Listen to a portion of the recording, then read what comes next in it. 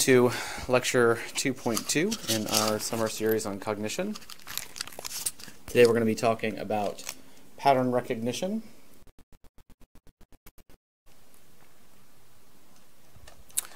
So today we're going to be starting with uh, module 2.2. Uh, our lecture today is going to be on pattern recognition. So welcome to lecture 2.2 in cognition in our summer series. Again, we'll be talking about pattern recognition today. So we talked previously about different issues in perception, uh, one of which has to do with how it is that we're able to um, see objects, letters, words, whatnot in the world. So when we talk about pattern recognition, we're talking about the process by which we recognize an object or event as being familiar, then label or identify that object.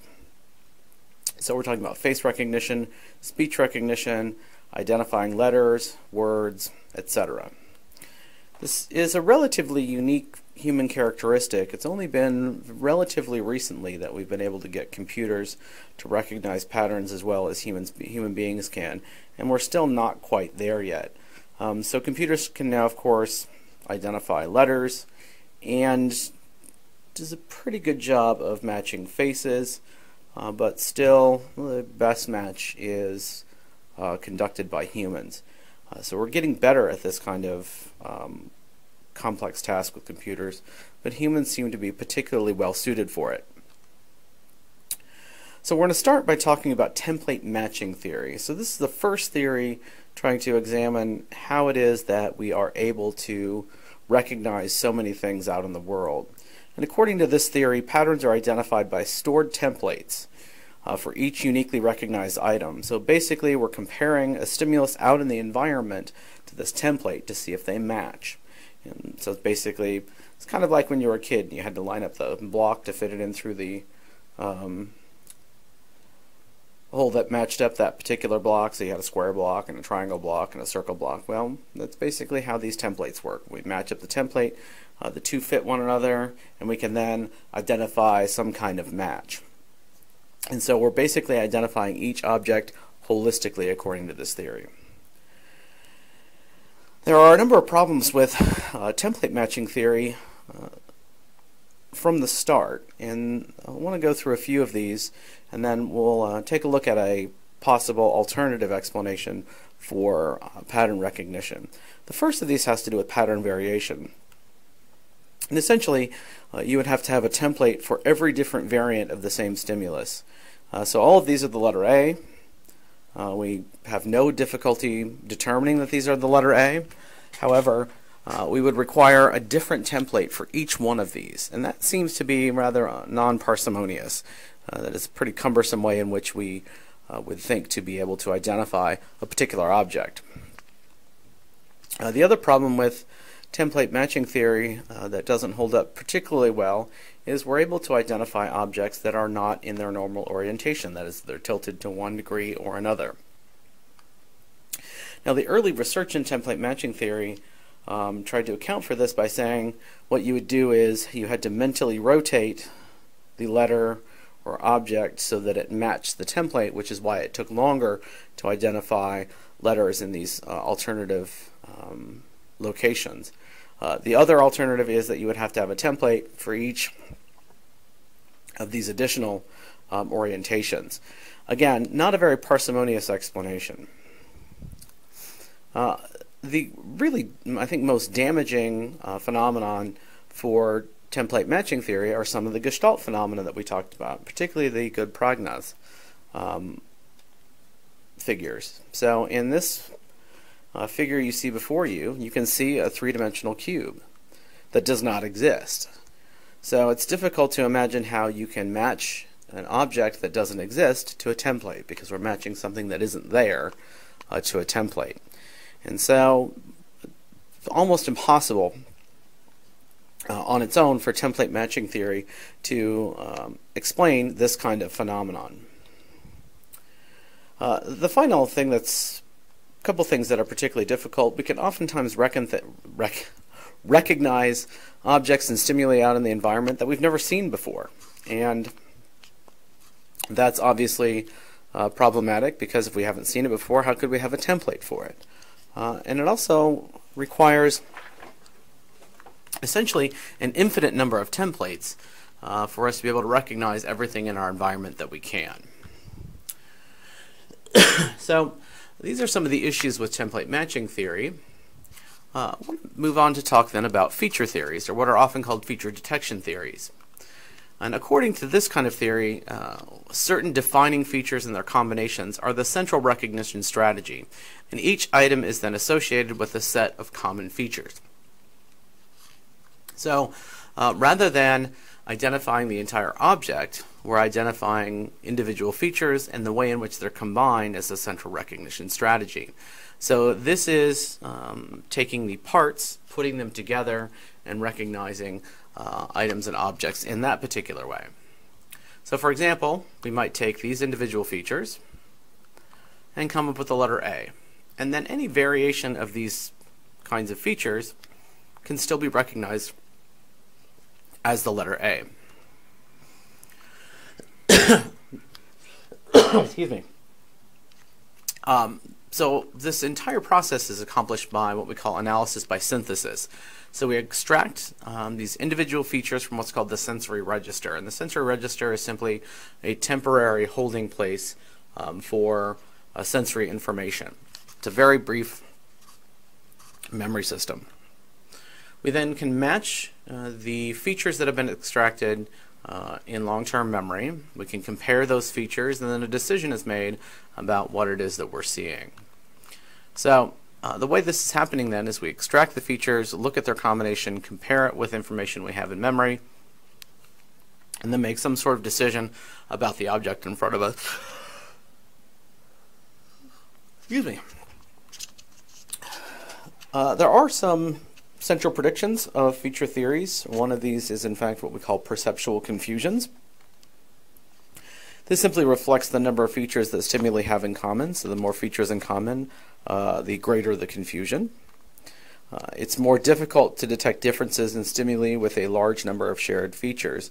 There's a classic experiment by Ulrich Neisser uh, in which he had participants search for items in an array of other items that were either very similar or very different. And in fact, for class, uh, we have a demonstration for you to do um, that will demonstrate this particular phenomenon. So those of you in my um, cognition class, uh, this is a good time to go off and do that uh, demonstration and come back to this particular lecture.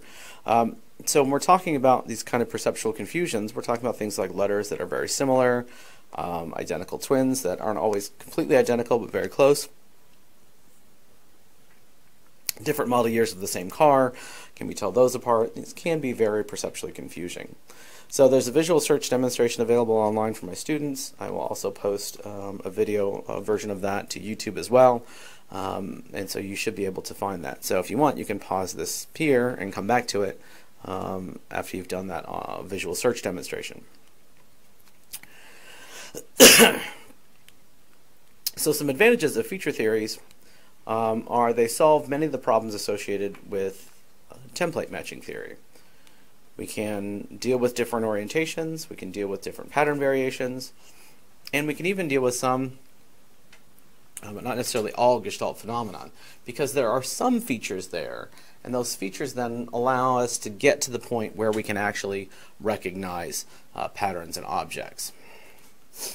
There are some problems that neither feature theories nor template matching theory are able to account for on their own in uh, data regarding pattern recognition.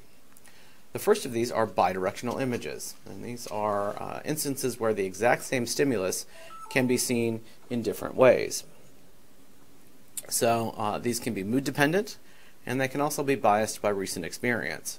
And so I want to take a look at some of these so you can see exactly what we're talking about.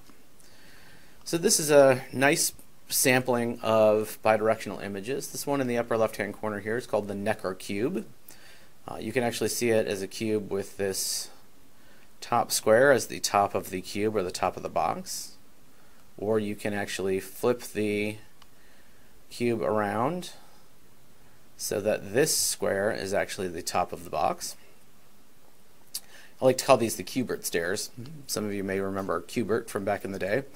So you can actually see these as sort of a set of cubes that result in a stairs going upwards, or you can reverse it the other direction so that these are the tops.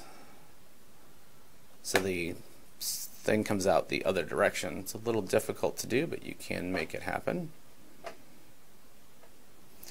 Uh, same with this one. Oof, this one drives me nuts because it flips back and forth. So you can see it either as a bench, so this is the seat and the back, or you can flip it around so that it's upside down. So this is the back and this is sort of the what would be the seat.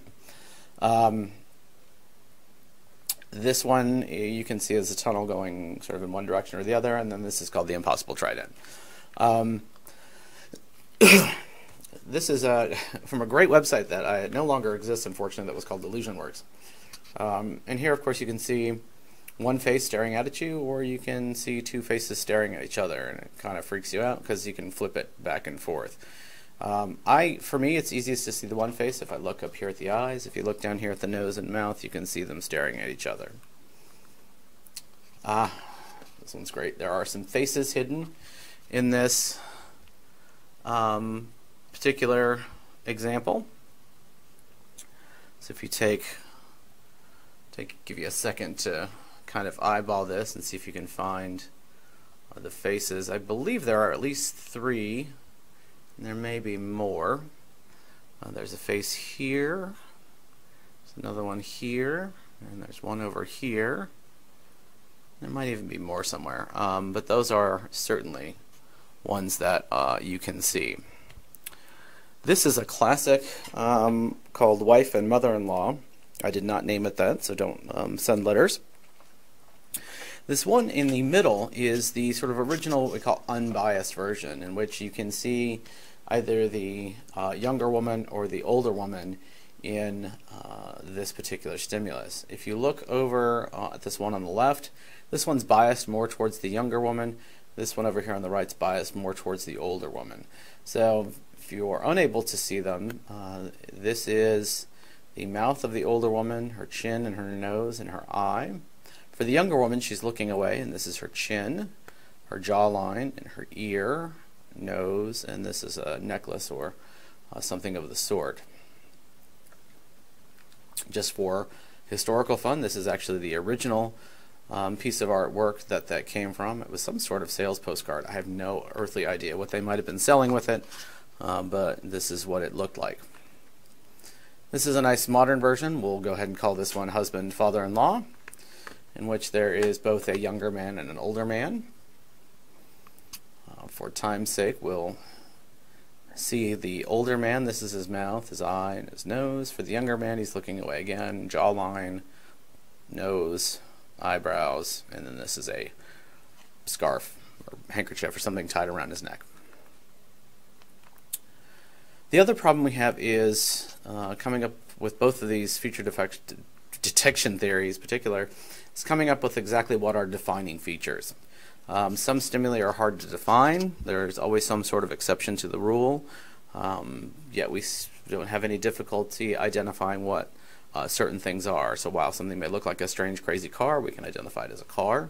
Um, similarly with glassware, there's all sorts of different glassware, but we can always, almost always identify them uh, by what they are. And there are always things that aren't exactly fitting the rule. Cars with three wheels, uh, that sort of thing. Another problem with both feature detection and template matching is we observe what are called context effects and that is the context of an object, an item, a letter, or a word um, determines either what we see or how accurately we see something. So the first we can talk about is called the word superiority effect. In the word superiority effect, participants are faster and more accurate at finding a letter contained in a word than in a non-word. So if we present uh, to participants the stimuli and simply ask them, is there a, as soon as you see the letter T, press a button, um, or can you tell me if the letter T was in the previous um, stimuli? Either of these are uh, both uh, acceptable in ways in which I've seen this done. And what we find is that participants are much more accurate and much faster at, finding a letter in a word than in a non-word. So in this example, it might be the letter K. Um, we'd be faster and more accurate at finding it in the word ticket than the uh, string of letters below. Now, the important thing is neither template matching theory nor feature theories can account for this because the context in terms of visual features is the same for both of these. Um, it's just simply one forms a word and the other one does not. So the only difference between these two is that uh, one forms a meaningful context and the other one does not, although the visual context is still the same. Um, so that's the word superiority effect. We also uh, can see other context effects in which the context actually determines what we perceive. So a single stimulus can be perceived differently depending on the context. So this is a classic example of that, where the exact same stimulus is either the letter B or the number 13, depending on which context you might see. So both um, feature theories and template matching theories um, are lacking uh, a way in which to accommodate these kind of context effects. And the reason for that is both involve only bottom-up, or what we call data-driven processing. Um, and that's a particular problem. So I want to spend some time talking about bottom-up processing um, and exactly what we mean by that, and then talk about top-down processing as a way to uh, accommodate these effects. So bottom-up processing occurs when the analysis of objects, we start by analyzing objects into parts. Processing starts with those basic units and our perception is then built on the foundation laid by these units. The critical piece here is that uh, with bottom-up processing we're only talking about taking the features, putting them together into a perception. It's based entirely on the data in front of us, the visual stimuli that we can see, um, and nothing more. But clearly, as we've seen, perception is influenced by higher cognitive processes. So while bottom-up processing is certainly a part of perception, there is more to it than that. And that uh, what we're actually missing is how our knowledge, our experience, and our expectations can drive perception. And so that gets us to top-down processing. And in top-down processing, global knowledge helps us to detect patterns. Processing is based on higher level information such as meaningful context, observer knowledge, experience, biases, emotional state. All of these things can drive our perception. So our recent experience can oftentimes really bias our perception. And in fact, in uh, I believe it's the next lecture, um, we'll be talking about uh, applications of visual perception. And in fact, what we see is that expertise can oftentimes mislead us in our visual perception, and that can actually be dangerous. Sometimes we also call this conceptually driven processing because it's concepts that are driving our processing. So our knowledge of language is what helps us um, see uh, and recognize letters more quickly in the word superiority effect. Our mood, our recent experiences, um, can bias our perception of um, those bidirectional images. So all of this is occurring because of top-down processing. I want to note one thing about top-down processing um, that is something we have all seen and experienced that is problematic. And that has to do with uh, proofreading our own work. The problem with proofreading your own work is you know what you meant to say and you know what you meant, what word you meant. And so when we go to read through something we've written, oftentimes we read what we meant to say, not what is actually in front of us, because our knowledge and expectations are what's driving that. And so it's really careful, it's really difficult um, to proofread your own work. And even others will proofread your work, oftentimes knowing what you meant, and will have a difficult time trying to uh, find uh, errors. So it's something to keep in mind. So this is the basic idea. Um, we have sensory input, coming in uh, to a pattern recognition, you know, say process, but we also have information from long-term memory coming down. So sensory input is coming from the bottom up, and long information from long-term memory is coming from the top down. And between uh, these two processes, we then get an output of what it is that we see or experience. So we'll pick up here on applied perception uh, in our next lecture.